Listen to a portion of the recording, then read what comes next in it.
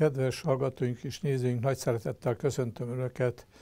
Párbeszéd az emberért, egyházak szerep a mai társadalom című műsorunk alkalmából, és hát külön szeretettel köszöntöm a Mazsihisz elnökét, Heizler Andrást, akit, akivel ugyan lehet, hogy találkoztak már, de 2010, több mint két évvel ezelőtt, és hát azóta azért a magyar zsidóság életében sok minden történt, és úgy gondoltam, hogy ezekről nem árt, hogyha ezen a csatornán is, hiszen itt már több csatorna is átvette ezt a műsor sorozatunkat, megismerik azt, hogy mik is történtek, hogy legalább hely, érezzék azt, hogy helyre kell tenni olyan kérdéseket, ami nem biztos, hogy a sajtón keresztül a legoptimális információhoz jutottak. Úgyhogy nagy szeretettel köszöntelek. És hát igaz, hogy annak idején azzal kezdtük, hogy egy kis bemutatkozás, most csak egy nagyon rövid bemutatkozás, mert nem biztos, hogy a 2015-öst a mostani nézők látták, bár ha a YouTube-ra, ha van internetük, akkor ott megtalálhatják ugyanazt. Össze is hasonlíthatják a két beszélgetésnek a tartalmi részét is, meg hát egyáltalán azóta eltert eseményeknek a, az érdekességeit is. Tehát egy rövid kis bemutatkozás, és aztán a második kérdésem lenne az, hogy, hogy 89-ben még miok, majd 90-ben már mazsihisz. Hogy alakult ez a történetiség? Szeretettel köszöntelek, és köszönöm szépen a meghívást. Nem hiszem, hogy elvárható, hogy, hogy a közönség, vagy ennek a műsornak a nézői azok feltétlenül emlékezzenek a két évvel ezelőtti hát dolgokra, igen. de nagyon szívesen pár mondatba magamról annyit, hogy Hát két évvel ezelőtt azt mondhattam, hogy 60 éves mérnök közgazdász vagyok, most 62 éves mérnök közgazdász a végzettségem. Egy budapesti neológ zsidó családnak vagyok a gyermeke, mindig tudtunk, tudtunk róla gyermekkorunkban is, hogy mi zsidók vagyunk, gyakoroltuk a vallást, nagy ünnepeket, mindig megültük, és édesapám vagy a nagypapám, ők ketten vittek el többé-kevésbé nagyobb rendszerességgel a zsinagógába, tehát valójában én a Dohány utcai zsinagógai közösséghez kötődöm ilyen formában. Annak az elnöke volt édesapád sokáig. Bizony, bizony, Laci apu annak az elnöke volt, igen, nagyon sokáig, és hogyha, hogyha azt mondjuk, hogy az én, én felekezeti karrieremet nézzük, akkor a gyerekeim születték, két fiam van egyébként, a születésük után egy 5-6 évvel Söner rektor úrnak a segítségével és az ő nyomására kezdtem el a közösségen belül dolgozni, feladatokat vállalni, és akkor végigjártam tulajdonképpen a ranglétrát, először a Dohány utcai körzet előjárója lettem, Söner ugye erre biztatott, mert ő akart egy fiatalítást, ez a 80-as évek közepén egy elég forradalmi gondolat volt, és akkor több fiatal fiatal káder került bele így a zsidó közéletbe, többek között a Feldmayer Péter, aki hát eh, szintén aztán mazsiszelnök lett, többek között a Tordai Péter is, úgy tudom, és ő is mazsiszelnök volt, és én is, és aztán eh, a körzeti előjárosságból elkerültem a Budapesti Zsidó Hitközség közgyűlésébe, onnan delegáltak a Mazsisznek a közgyűlésébe, onnan aztán beválasztottak eh, a Mazsisz vezetőségébe, ahol aztán hát viszonylag én egy aktívabb tagja voltam a vezetőségnek, így lett lettem aztán alelnök, és aztán 2003-ba megválasztottak Mazsisz elnöknek, amit két évig csináltam, ottan kis közéleti pulparlé volt körülöttem, és akkor lemondtam, de ez már a múlt, és nagyon nem is szeretnék vele foglalkozni, persze valakit érdekel, elmondom, és leg, legutoljára pedig 2010 háromba választottak meg Mazsisz elnöknek, akkor két évre, ez egy időközi választás volt, 2015-ben ezt megerősítették, úgyhogy 2019-ig meg vagyok választva, mint Mazsisz elnök. Nagyon érdekes, mondtál olyan neveket, akikkel természetesen én magam is sokszor találkoztam. Ugye akkor, amikor megszűnt az állami egyházi hivatal, és a művelődés minisztériumban létrejött egy egyházi kapcsolatok főosztály, Igen. akkor azt kértük az egyházaktól, így a akkori zsidóság szervezetétől is, és igen, direkt igen. nem azt mondom, hogy mazsisztől, hogy delegáljon a főosztályra olyan személyt, aki tudja közvetíteni. Uh-huh, uh-huh. És hát akkor Zoltai Gusztáv volt a miok részéről képvisel. Aztán később, amikor a mazsisz részéről is még ő volt, uh-huh, de aztán később Svejcer Gábor uh-huh. lett. Itt azért ez a miok és a mazsisz közti különbséget, azért mondjad el, ez nem az, hogy mindenki tudja. Hát igen, a, a miok az a mazsisznek a jogelődje volt tulajdonképpen. Igen. A miok még egy, egy igazi pártállami képződmény volt. Ez azt jelenti, hogy annak idején a magyarországi neológiát, tehát a zsidó neológiát és a magyarországi zsidó ortodoxiát az akkori időkben, 53-ban egyébként egy szervezetbe akarta tömöríteni az akkori hatalom, mert nekik egy szervezetet volt a legkönnyebb kezelni. Körülbelül ennyi lehetett szerintem a magyarázata. Így aztán a MIOK az tömörítette a, a, a szervezetbe a magyarországi neológiát és a magyarországi ortodoxiát is. Tehát ha zsidó kérdésről volt szó, a zsidó vallásról, akkor egyetlen egy autentikus szervezet volt, hiszen tudjuk, hogy a pártállami időkben, még egyszer 50-es, 60-as, 70-es évekről beszélek, módszeresen bezárattak mindenféle különböző vallási intézményeket, nem csak a zsidóknál, hanem az összes többi egyháznál is.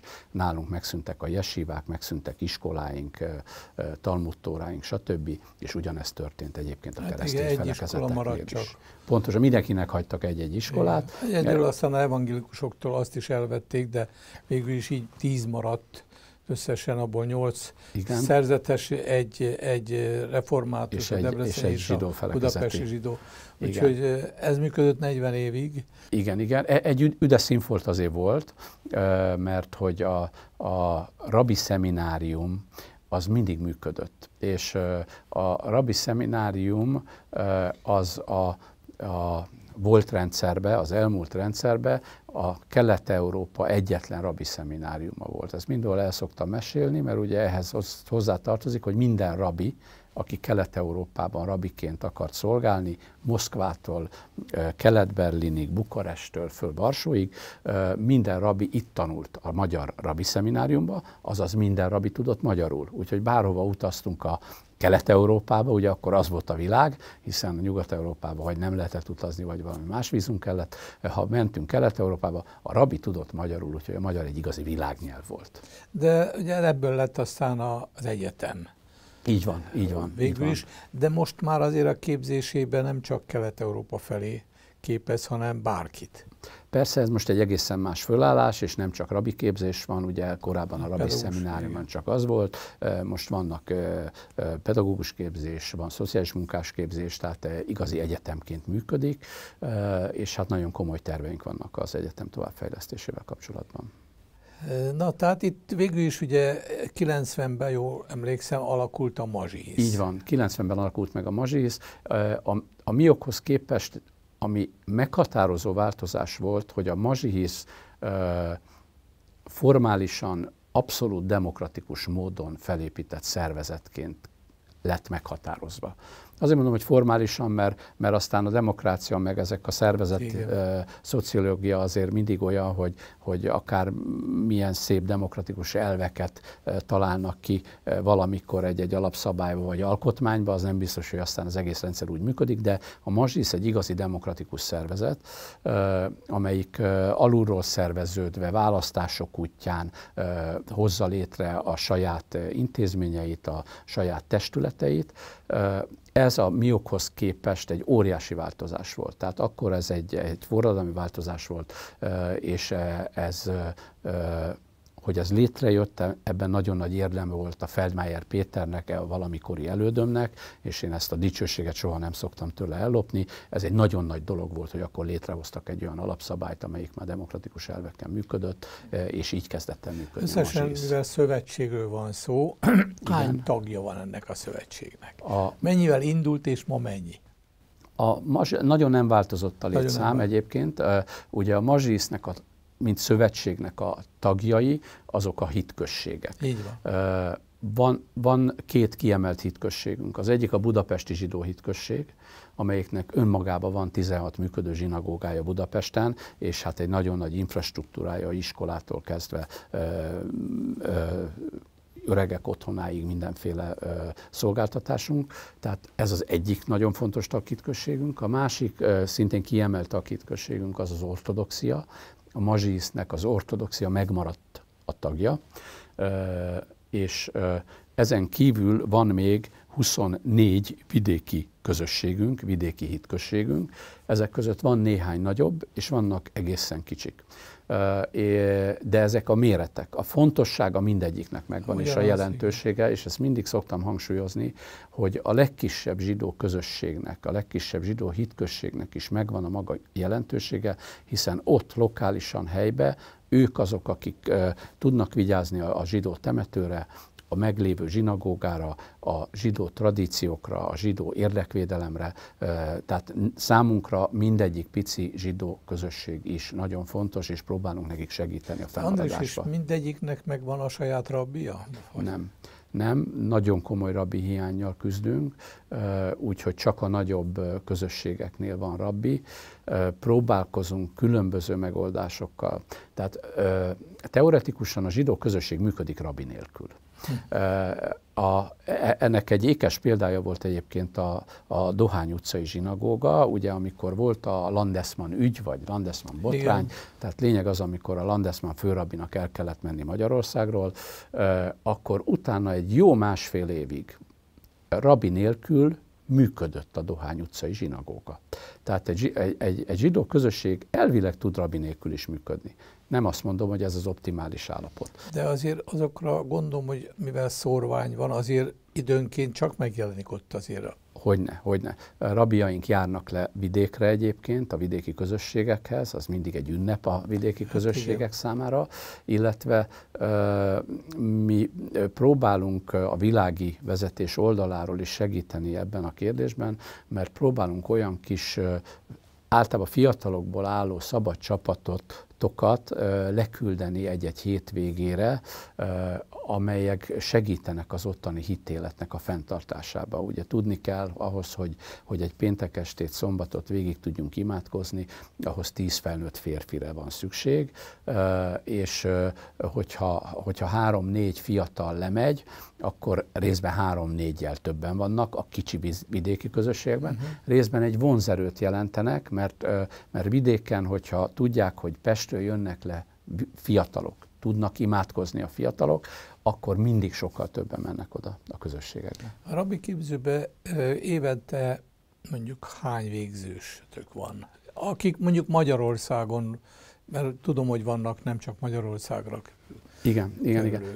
A, a rabi képzőbe körülbelül 170 diák jár. Tehát tudni kell, hogy az Országos Rabi Képző és Zsidó Egyetem, 170 diák jár. A 170 diákból fél tucat vagy 8 ember, 8-10 ember maximum, aki a rabi hallgatóként van jelen a rabi képző munkájába, így aztán rabikat nem évente avatunk hanem, hanem ritkábban. Most idén lesz rabi avatás, a záróvizsgájukon ott voltam, két fiatal tehetséges rabinkat fogjuk remélhetőleg avatni, de, de nagyon nehezen jönnek ki a rabik a rabiképzőből, ráadásul a rabiknak a, az oktatási ideje az nem annyira formalizált, mint, mint annak idején az én egyetememben, mondjuk a Műszaki Egyetem 5 évig jártunk, ha nem Igen. buktunk meg, és akkor 5 év után diplomát kaptunk. A rabiknak 6-7-8 év az oktatási ideje, nagyon sok mindent kell megtanulniuk, úgyhogy nem jön ki minden évbe rabi hallgató. Természetesen a 170 diákból, akik nem rabi hallgatók, folyamatosan minden évben diplomáznak. Ami még fontos, és mondott, hogy nemzetközi szinten is, az a doktoriskolánk. Tehát van egy doktoriskolája az egyetemnek, és ott nagyon komoly tudományos munkát végeznek a hallgatók.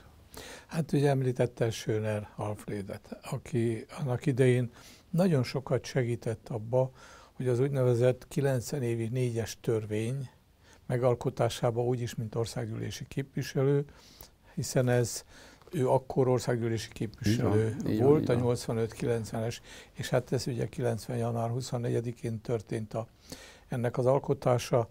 Tehát ő is, mint a többi egyházal közösen, kvázi manuálisan vettek részt annak a törvénynek az alkotásába, ami hát sajnos mint gyakorlat azóta megszűnt. Időnként kaptok információt, mi az, amit esetleg módosítani akarnak, de, de már nem úgy, mint annak idején. Ez egy egyértelmű volt, hogy az igazságminisztérium és mi közösen ezekkel a akkor működő egyházak, felekezetek, vallási közösségekkel közösen alkottunk mindent, a minden alatt minden olyan kérdés, ami az ő társadalomból szerepvállalásokat elősegítette, vagy elősegítheti. Benne az állami feladatok része, a szektorsemlegesség, szóval mm-hmm. tulajdonképpen finanszírozás.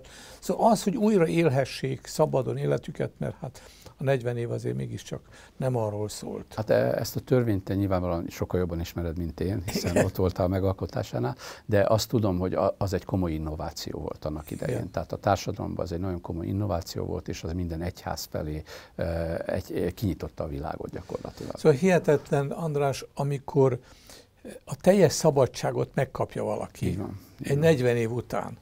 Borzasztó nehezen hiszi el, tehát van egy görcsoldó időszak, de ezt nem lehet csak az állam oldaláról feloldani, ezt csak közösen lehet feloldani. És a bizalmat érezni, az, hogy igen, most már nekünk együtt kell tudni szolgálni, amire hivatottak vagyunk. Tehát ez a gondolat, ez akkor a Schöner Frédiben természetesen benne volt, a többi egyházi képviselővel együtt, úgyhogy én sajnálom, hogy tulajdonképpen az a hat képviselőből, uh-huh. aki akkor benne volt, csak már csak egy maradt ő, uh-huh. de, hát ő azért még ráadásul tovább oktatja, és a jövő nemzedékének adát ugyanolyan szeretetet, mint amennyire ő maga azt tette. E, ez így van, és mostan hát egy nagyon nehéz szakasza fog következni az egyetem életének, mert Schöner Alfred rektor, aki tulajdonképpen az egykori rabiképző intézetet akreditált egyetemmé fejlesztette,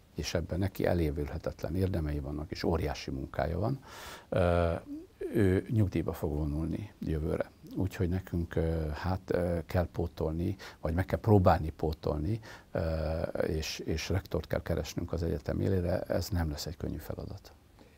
Még egy gondolatot szeretnék ugye mostanában hallani, különösen éppen a törvény módosítása kapcsán, hogy az állam elismert és és bevet, meg a jó Isten tudja, kategorizálta az állampolgárokat és az egyházakat, hogy közben a mazsíz helyett megjelent még vagy négy különböző zsidó szervezet. Ez, ez hogy alakult ez ki? Ezt az állampolgárok mennyire ismerik ennek a történetiségét és fontosságát, vagy nem tudom miért? Én úgy gondolom, hogy, hogy, hogy az állampolgárok legnagyobb része egyáltalán nem ismeri. Igen. Hozzáteszem, még a zsidóknak egy része sincs tisztába a dolgokkal.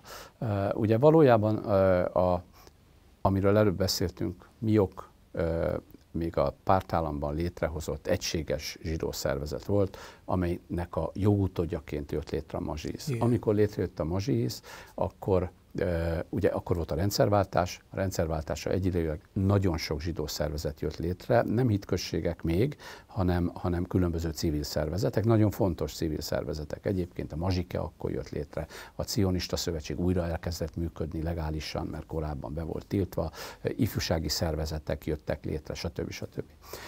És utána nem, nem hosszú idővel rá megalakultak más vallási irányzatok, zsidó vallási irányzatok, ugye egy reformmozgalom alakult, ami aztán ketté vált, és két reformmozgalmunk van.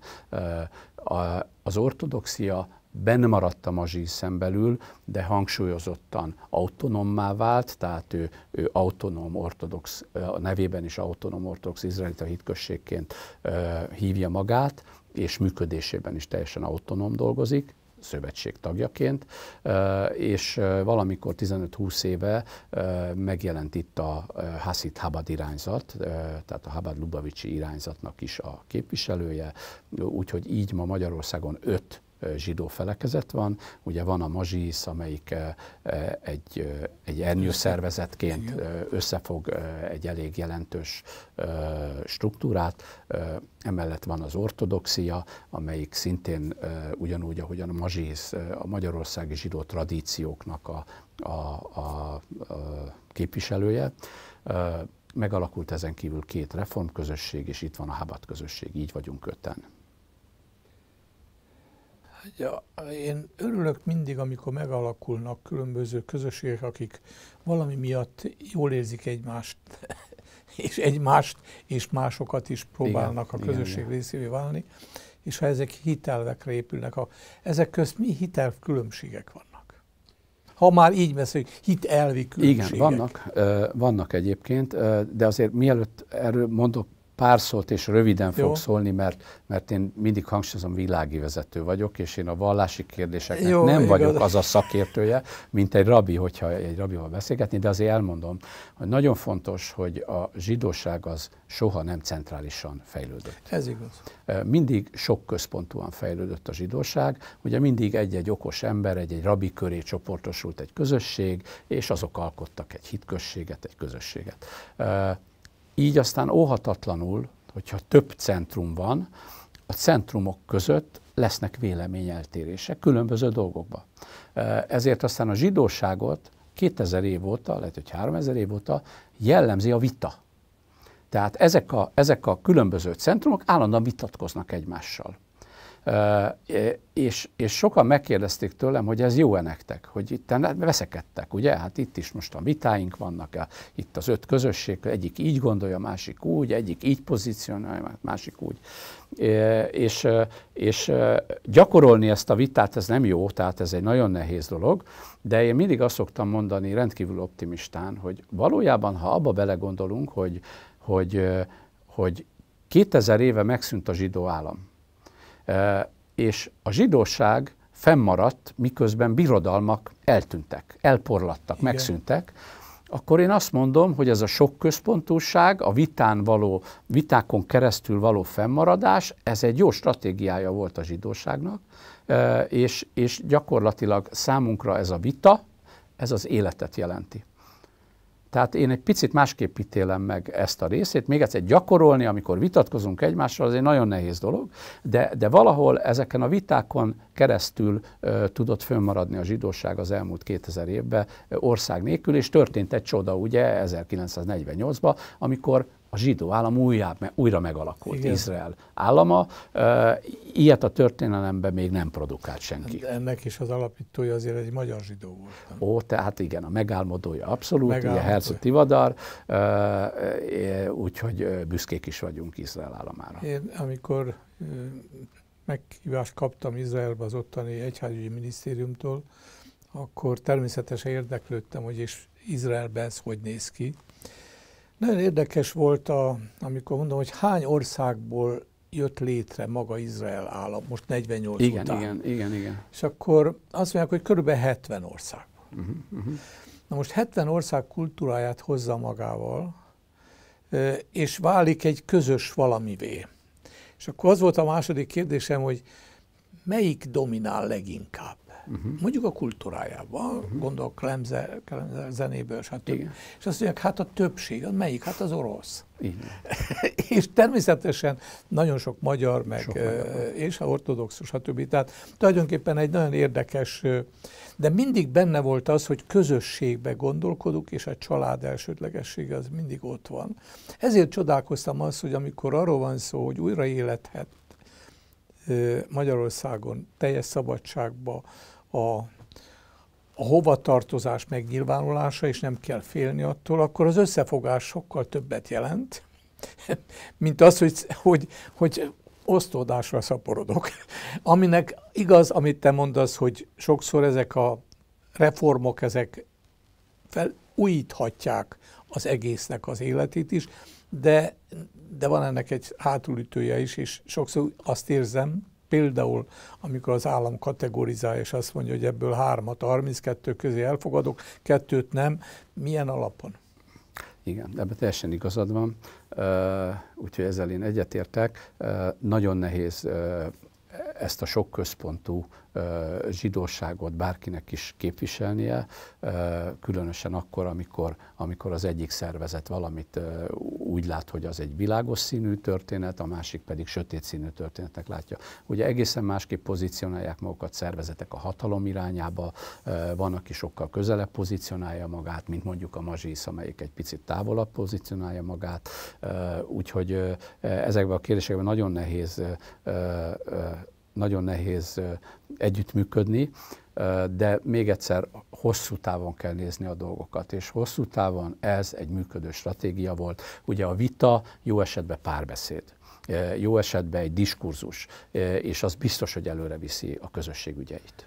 Ez aranyos jó volt. Ez a, egy kis szünetet tartunk, és folytatjuk jó, rendben. tovább, hogy miért, miért kérdeztem meg ezt. Jó, jó, jó. Kedves nézőink és hallgatóink, folytatjuk tovább Helyzer András elnök úrral beszélgetést. Ott hagytuk abba, hogy végül is ugye hát itt ötféle zsidó szervezet működik Magyarországon, de akárhogy is veszük, azért mégiscsak a legnagyobb a mazsihisz, hiszen az elmúlt időszakban két olyan jelentős személyiség jelent meg Magyarországon, akik úgy gondolták, hogy találkozni akarnak a mazsihisz vezetőivel, sőt Merkel asszony a többi szervet vezetőit is kérte, hogy ott legyen azon a találkozón. Ez számotokra gondolom egy óriási megtiszteltetés, és talán az, hogy egy olyan államnak a vezetőivel találkozni, aki valamikor azért épp a magyarországi, meg egyáltalán a zsidóságnak a nem, nem ő, hanem X időszak előtt, 70 évvel ezelőtti, azért éppen ennek a megszüntetésé volt. Ez azért valahol azért adott egy olyan lökést is, hogy van biztonságunk, vagy nagyobb biztonságunk lehet, hiszen más politikai és, szel- és egyéb szelek fújnak a megmaradásunk és egyáltalán az életünk és magunk érdekében. Picit, hát itt a Merkel picit, az... Igen. Picit egy előszóként, hagy, hagy mondjak egy, egy, egy picit, de ide rávezetem majd, hogy nem olyan rég voltam Amerikában, és ott sok helyen kellett beszélnem a magyarországi zsidóságról. És két dolgon döbbentek meg. Az egyik, hogy Magyarországon van az utolsó kelet-közép-európai nagy zsidó tömb. Magyarországon van százezer zsidó, százezer zsidó, Ilyen nincs a környéken sehol. Tehát ha megnézzük Lengyelországban, ahol hatalmas zsidóság volt, 2000 zsidó van. Csehországban 3000, Szlovákiában két és fél ezer, Romániában néhány ezer, és hogyha megyünk le Macedóniáig, pár száz zsidóig. Százezres tömb csak Magyarországon van, ezt nem tudta Amerikában senki. A másik, amit nem tudnak rólunk, és ezt szerintem Magyarországon sem, hogy, hogy a mazsihisz, amikor mondottad volt, hogy mégiscsak a legnagyobb, hát valóban, mert a mazsihisznek olyan valódi infrastruktúrája van, működő infrastruktúrája van, és ezt hangsúlyozom, ahol ahol a, a zsidóknak a, a zsidó élethez szükséges mindenféle szolgáltatást tudnak, tudunk biztosítani. A, a régió egyetlen zsidó kórháza itt működik Budapesten, sehol a környéken nincsen már a régió, kelet-közép-európai régióról beszélek. Az egyetlen zsidó egyetem itt működik. Tehát itt olyan unikális dolgokat hoztunk létre közösen, vagy az elődeim, amikre méltán büszkék lehetünk, és hát a többi szervezetnek igencsak kell kapaszkodnia, hogyha ezt el akar érni. Ráadásul a magyarországi százezer zsidóságnak a többsége az a neológiához érzi közel a saját lelkületét. Ez az előszó. E, és, és ugye ehhez a közösséghez jött el a Merkel asszony, e, és most nem olyan rég a Benjamin Netanyahu. E, én úgy gondolom, hogy, hogy különösen a Merkel asszony látogatása, mert az, hogy az izraeli miniszterelnök meglátogatja a zsidó közösséget, az, az majd, hogy nem egy természetes folyamat, de a Merkel asszony látogatása az, az a, a, ami érdekvédelmi stratégiánknak a következménye volt. Ugye amikor én engem elnökké választottak, és hogyha valaki, valaki veszi azt a, valaki valóan flugos, hogy vegye a fáradtságot, hogy megnézze a két évvel ezelőtti interjút, lehet, hogy én ott, ott ezt elmondtam, hogy amikor elnökké választottak, akkor mindjárt volt egy konferencia a parlamentben, ahova meghívtak, és én ottan a, a zsidó érdekvédelemről beszéltem. Az érdekvédelemről. És ott én elmondtam, hogy, hogy egy nagy paradigmaváltásra van szükségünk, mert korábban a mazsisz monopól helyzetben volt, nem volt más hitközség, nem volt más zsidó szervezet, ma egészen más ö, ö, környezetbe kell működnie a mazsihisznek, ezért az érdekvédelmi stratégiáját meg kell változtatnia egy olyan érdekvédelemre, hogy a társadalom különböző területein szövetségeseket kell, hogy kiépítsen. És amikor mi elkezdtük ezt a munkát, és sokkal aktívabban vettünk részt a, a közéletbe, akkor akkor mi nagyon sok szövetségessel, szövetséges próbáltunk szerezni a saját értékeink köré. És bizony a demokratikus országok, demokratikusnak mondott országok, azok közöttük voltak de, de, de közöttük voltak ö, oktatás területén a Történelemtanárok Egyesülete, és a többi, és a többi, nem akarok én most senkit se ö, provokálni, de, de hogy nagyon sok ilyen szövetségesünk volt, és amikor valamilyen ö, helyzet van, akkor bizony ezek a szövetségesek tudnak nekünk segíteni. Ö, a német nagykövetséggel és a német kormányal így nagyon jó kapcsolatot építettünk ki, úgyhogy amikor a Merkel asszony jött Magyarországra, ö, akkor ö, ugye amikor a programját szervezik egy ilyen nagyon magasrangú delegációnak, akkor, akkor mit csinálnak? Ugye a hivatalos programok azok megvannak, azok adottak, e, és a Merkel asszony, ha, ha jól tudom, és talán nem titkot árulok el, ő azt mondta, hogy ő nagyon szívesen meglátogatna egy valamilyen német e, nyelvű, német anyanyelvű intézményt, és egy valamilyen civil intézményt. És tekintettel arra, hogy, hogy nagyon jó kapcsolataink voltak a nagykövetséggel, így a civil intézménynek a mazsisz jött szóba, ahova aztán meghívtuk a Merkel asszony külön kérésére mind a másik négy zsidó felekezet képviselőit, és, és hát ott öten beszélgettünk vele. Egy jó másfél órát. Igen, ez megmondom őszintén, kapott valamennyire a médiába, de nem, nem ilyen mély hangot, hogy végül is itt azért ez a másfél órás beszélgetés után ez a kapcsolat tovább erősödhetett, és ez, ez a úgynevezett érdekképviseleti szférába biztos, hogy meg kell, hogy jelenjen. Valóban a Merkel asszony látogatását követően talán egy hónap múlva, vagy másfél hónap múlva a nagykövetséggel aláírtunk egy támogatási szerződést, ahol nem mi támogattuk a nagykövetséget, hanem a nagykövetség, ami múzeumunkat támogatta egy projektjében, és azóta is ez a kapcsolat, ez egy élő kapcsolat, úgyhogy ha, ha szükség van nekünk bármilyen segítségre, bármilyen szövetségesre, akkor nyugodtan tudunk fordulni ezekhez a partnerekhez. Egy kis kitérőt azzal, hogy ugye az érdekképviselet. Igen. Ha Magyarországon valóban gondolná a politika, hogy az egyházak vegyenek részt az úgynevezett jogalkotásba, igen. tehát ott tudják az érdekeiket igen, igen. képviselni, hát valójában, igen. akkor a felsőházat létre kellene hozni. Igen, igen. A felsőházban természetesen mazsíznak ott a helye, és tulajdonképpen ez egy társadalmi kontroll jelentene a politika az alsóház fölött. Egyetlen egy politikai szféra nem akarja, pedig a környező országokban van máshol is felső, meg hát így is épült ez a parlament, vagy legalábbis a jogalkotásban szóló törvénybe be kellene venni, hogy mindazok, akik közfeladatokban részt vesznek, az állami feladatok részt azoknak a jogalkotásba köteles részt venni, hiszen a tapasztalataik a jogalkotó részéről rájuk is érvényes lesz majd, és így tovább. Tehát gyakorlatilag azt jelenti, hogy, hogy vagy legalábbis a lelkiismeret és vallásszabadságról szóló törvény, ez szintén az, hogy, hogy be kell kapcsolni. A kell szó itt nagyon fontos, mert nem adhok-szerűen kell ezt csinálni, hanem mivel most már ennyi idő után, 30 év után az egyházaknak a társadalomban szerepvállalása elég jelentős, különböző, és nem a hitéletről beszélek, hanem a társadalomban lévő igen, különböző igen. közösségeket, állampolgárokat szolgáló oktatás, kultúra, abszolút, szociális, abszolút. karitatív, egészségügyi és így tovább. Ezeknek a törvényeket nélkülöttek nem lehet meghozni, legalábbis egy jogállamban. Hát ez a kétkamarás parlament egy, egy izgalmas gondolatkísérlet, de úgy gondolom, hogy, hogy a mai realitások felett inkább gondolatkísérlet. Eh, nyilván, hogy ennek nincsen ma politikai támogatottsága. Hát a, ez volt a kis kitérőm, de... A, de, de nem, ez, ez mindig izgalmas ezt így végig gondolni. Az biztos, hogy, hogy mi, mi nagyon hangsúlyosan szoktuk megfogalmazni, hogy igenis nekünk a közéletben részt kell vennünk, a társadalmi folyamatokban részt kell vennünk, és mi igenis a pártpolitikától igyekszünk távol maradni.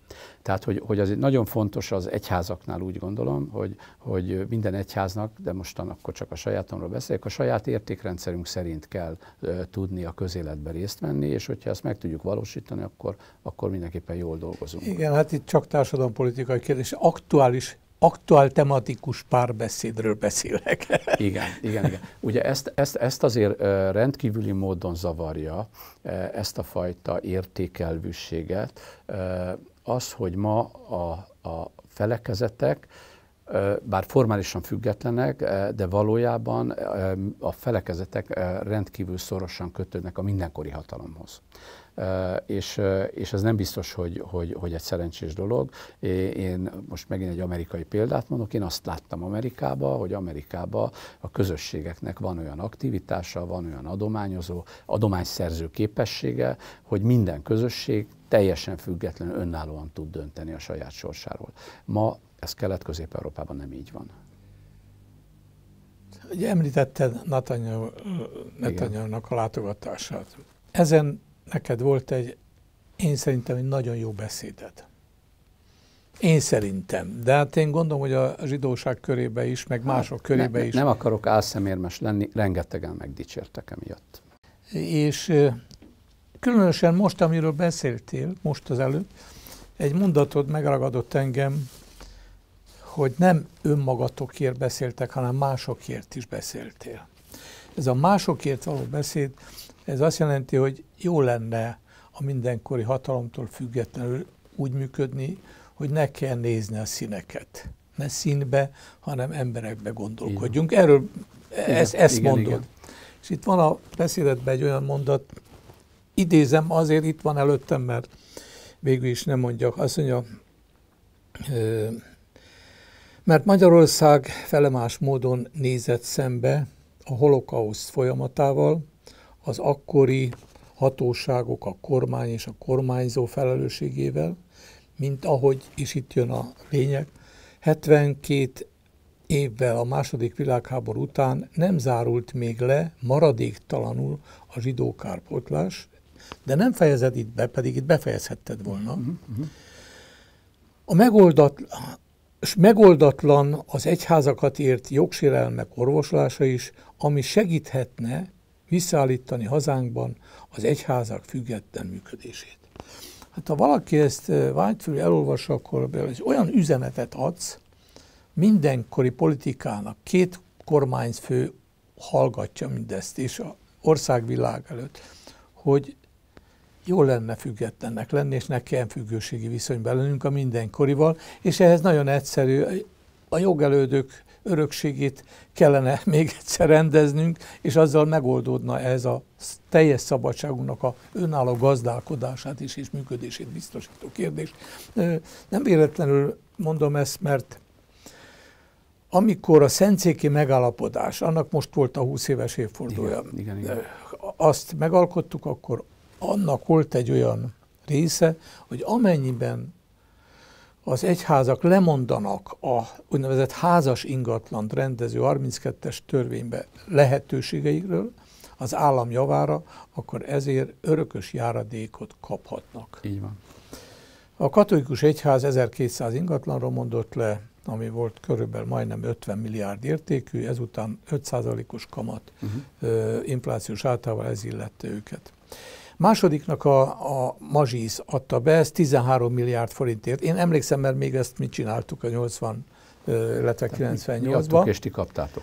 És akkor megkapt, igen, ti, és mi, mi ezt már úgy vettük, hogy igen, ennyival mondanak le, ezután ennyi járna, igen. és ezt a következő évi költségvetésben már be is terveztük. Majd az első Orbán kormány folytatta tovább a megállapodásokat, és kötött a... Igen ám, de volt egy kitétele, ami szerintem mai napig se biztos, hogy rendeződött, legalábbis nem tudok róla, de lehet, hogy igen. Kitalálták úgynevezett kiegészítő járadékot. És a többivel kötött, protestánsokkal, ortodoxokkal kötött megállapodásba hozzátettek több milliárdot, vagy több százmilliót mhm, mhm, mhm. azokhoz, amiket a református evangélikusok, ortodoxok lemondtak. Ha én az egyenlő elbírálás elvét veszem, akkor azonnal vissza kellett volna térni, hogy akkor nézzük meg a zsidóság esetében kiegészítő járadék mennyi és miből, mennyi százalék, a katolikusoknál, hiszen azt az ideológiát, amit, amit kitaláltak arra, hogy miért legyen egy kiegészítő, az mindenkire igaz. Mindenkire igaz mert van pozitív és negatív diszkrimináció. Ez a kérdés, nem tudom, hogy a részletekről egyáltalán rendeződött-e?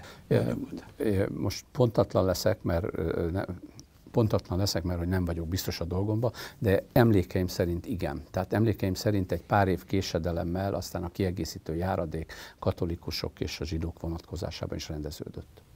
Na most ugye ez is egy érdekes, hogy hogyan számoljunk.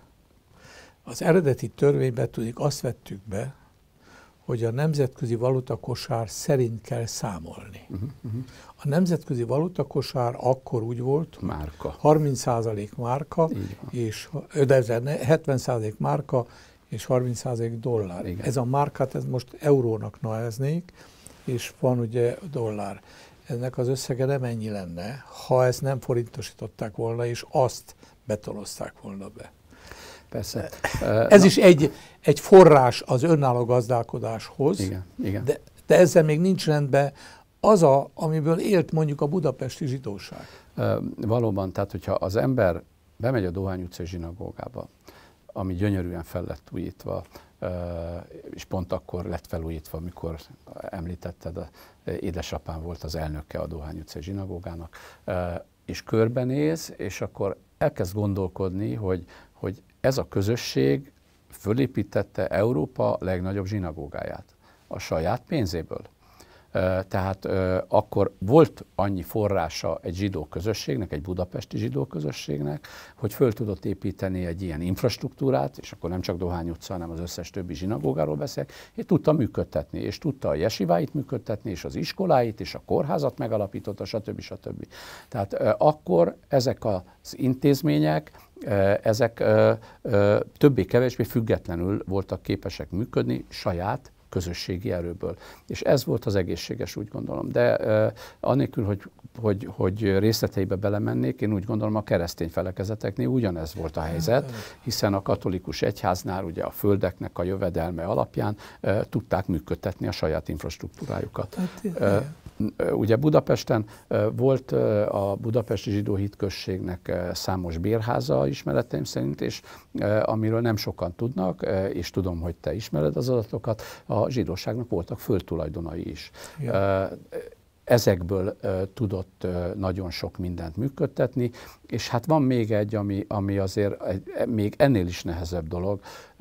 A 40 év alatt a régi rendszerben az adományozás kultúráját Magyarországon szétverték. Nem csak a zsidóknál, mindenhol.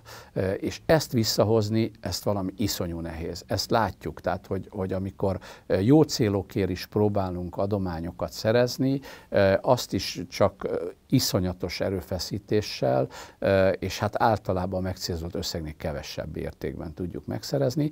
Tény, hogy vannak már jó példák, tehát van biztató példa, hogyha valami nagyon frappáns, nagyon látható, nagyon transzparens célt és folyamatot jelölünk meg, akkor volt már olyan, hogy sikerült arra saját erőből összeszedni erőforrásokat. Ez jó, amit mondasz, adományról jut eszembe, hogy akkor, amikor a második János Pálpápa 91-ben Magyarországra látogatott, akkor a katolikus egyháznak ilyen gondjai voltak, hogy hát ahol fogadja, azokat rendbe kellene hozni és akkor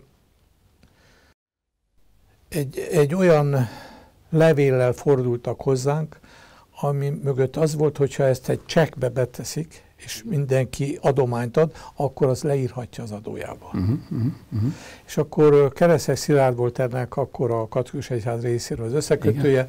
ezt a csekket tulajdonképpen ebből azt lehet mondani, hogy több százmillió bejöhetett, mert mindenki, aki adó, adózott, adományt adott, tudta, hogy ez adójából leírható. Uh-huh, uh-huh. Tehát e, aztán később ennek a, volt a szintén, amikor elkezdtek épülni és rekonstrukciók, akkor pedig az volt a szándékunk, és ez be is jött, hogy a áfa visszatérítés. Tehát ne kelljen az egyházaknak, a saját hitéletüknek, a műemlékeknek és így továbbnak az újraéledését. Uh-huh, uh-huh. Hát valamivel kell segíteni az államnak. Hát minimum azt mondja, hogy lemondok akkor arról, azaz visszakaphatod az áfát, uh-huh. igaz, hogy utólag, de akkor is az, arra számíthatsz. Tehát rengeteg variációja lehet annak, hogy hogyan segítheti az állam maga eszközeivel, de nem függőségi viszonyjal, hanem azzal, hogy valóban a társadalomban megtalálják ezek a közösségek helyüket.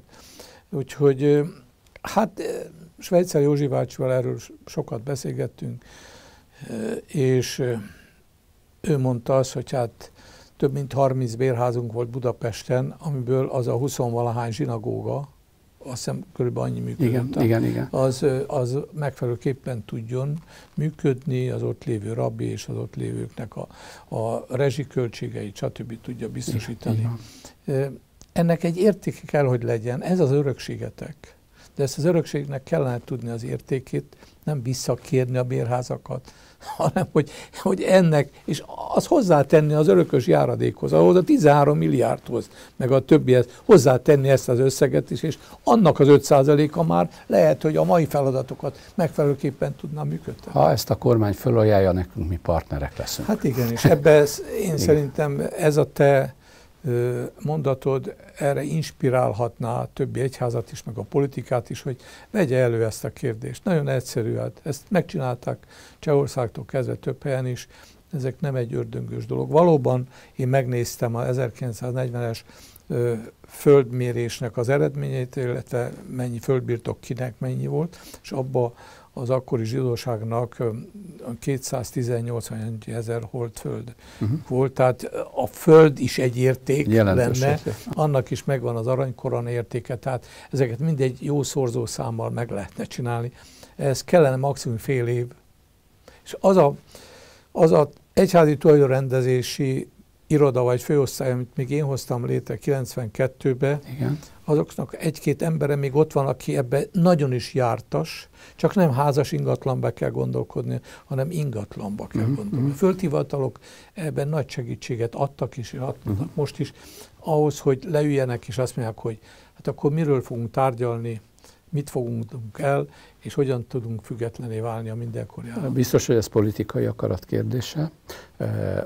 Az, az is érezhető, hogy ma erre sok affinitás nincsen, de az is tény, hogy, hogy amikor a, ha csak a történelmi egy, történelminek mondott egyházakat veszem, hogyha mi közösen tudunk fellépni bármiben, a legkisebb dologban, vagy akár a legnagyobban is, annak a társadalmon belül mindig ereje van ezért szoktuk is ezt gyakorolni, tehát amikor valami olyan meghívásnak teszünk eleget kormány részéről, ahova mind a négy történelmi egyháznak el kell mennie, és tudjuk pontosan a témát, és arra föl tudunk készülni, és ha ki tudunk alakítani közös álláspontot, annak mindig nagy ereje van. Volt erre már példa, és remélem, hogy a jövőben is lesz. Jó a kapcsolatunk egyébként a keresztény felekezetekkel, egyházakkal. Örülök neki, igen, hát ezt tudom, hogy akkor is kialakult már. Igen, Én igen, igen. magam is rendszeresen találkoztam az egyházak vezetőivel, mindig egy-egy aktuális témába annak kialakításába és annak végrehajtásának segítésébe is, mindegy, hogy ez APEC-et érintett, vagy bármit igen, érintett. Igen, igen. Itt megint vissza kell térni az, ugye érdekképviselet, nekem nagyon tetszett, hogy végül is te neked az egyik első nagy feladatot az volt, hogy hogyan lehet valóban tényleg egy ilyen közösséget, egy sokat szenvedett közösséget újraéleszteni és képviselni. Ha valaki belemélyed mondjuk az uniós alkotmány, vagy Lisszaboni szerződésbe, uh-huh. és annak a 14. azt hiszem paragrafusában a következőt mond önmagára az unió, és ez 28 országra érvényes. Rendszeres nyílt párbeszédet kíván folytatni egyházak és egyházi szervetekkel. Ezt miért nem lehet adaptálni? a 28-ba, hogy itt is rendszeres legyen, és ez mindig aktuál tematikus, tehát a rendszer mindig a feladat lehetőségeit és a közösen végzett feladatokat érinte?